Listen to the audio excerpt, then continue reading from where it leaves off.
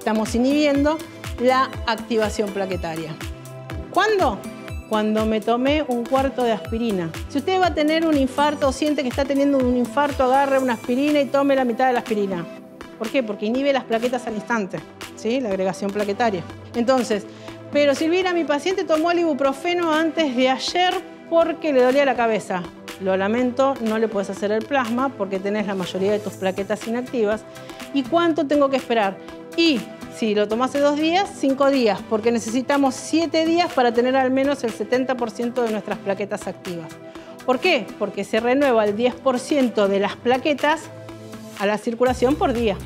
¿sí?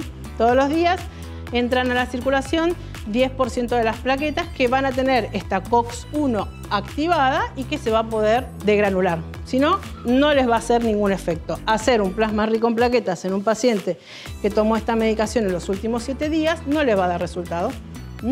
Y por eso fracasan. Entonces hay que avisarle al paciente que los 7 días previos al tratamiento no puede ingerir este tipo de sustancias. Pero a mí me duele, bueno, toma paracetamol de un gramo, que no interfiere, o toma tramadol, ¿sí? si el dolor es muy grande, facetario es muy grande, toma tramadol.